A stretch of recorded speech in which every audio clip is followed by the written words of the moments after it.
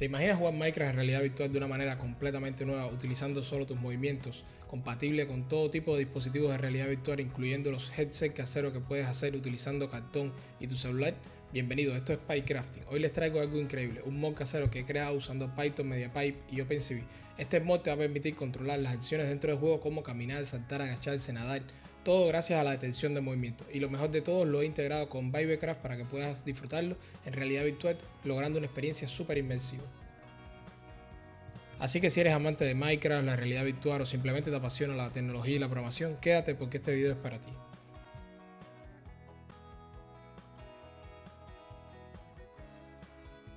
Para lograr una experiencia súper inmersiva sería bueno también que tuvieras integrado Vivecraft, que vendría siendo el mod definitivo para jugar eh, Minecraft en realidad virtual.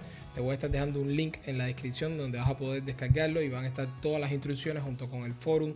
Pero bueno, de todas formas, en caso de que tengas cualquier duda puedes dejarla en los comentarios.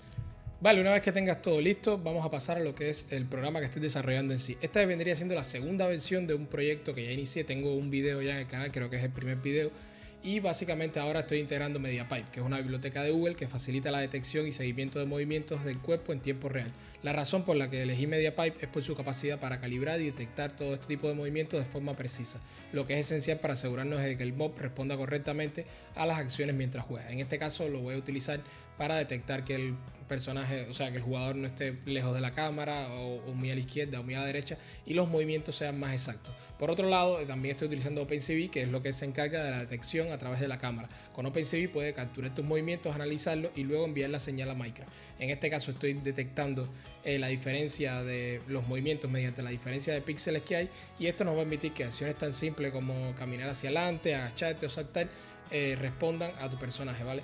Entonces, en dependencia del área en que lo haga, es que estoy ejecutando una tecla. Por ejemplo, si estoy ejecutando algún movimiento que esté por encima de, un área, voy a ejecutar, por ejemplo, lo que sería el salto.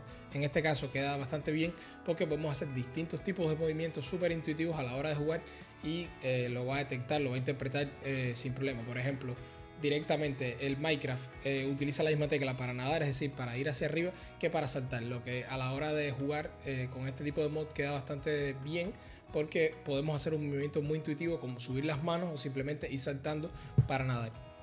Como puedes ver, aún no tengo desarrollado eh, el tema este del crafteo y tal, pero ya estoy trabajando en varios programas para que al final todo se pueda hacer con las manos, es decir, podamos jugar totalmente, hacer acciones como miniar, como craftear. Así ya saben, si les gustó este video, quieren estar al tanto de las novedades de este proyecto, no olviden suscribirse y les voy a recomendar que continúen viendo más contenido del canal. Aquí van a poder encontrar videos desde cómo crear su juego en su celular hasta cómo hice Minecraft como si fuera un juego de los 80. Bye.